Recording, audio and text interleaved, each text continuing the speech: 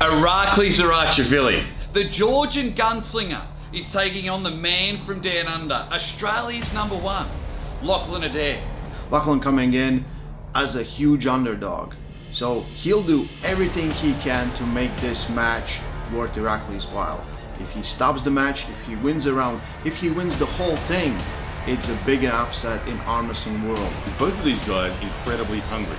When I look at the top 20 arm wrestlers in the world, Irakli, he stands out as one of the guys that is most driven. Lachlan has a look in his eye that is second to none in the arm wrestling world. But can he execute it? Can he execute a game plan against Irakli? I think he's ready and I hope we'll see a war. This match, people say it's a whitewash.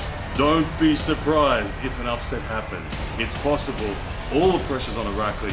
It's all there for Lachlan to win. This could be the match of the night.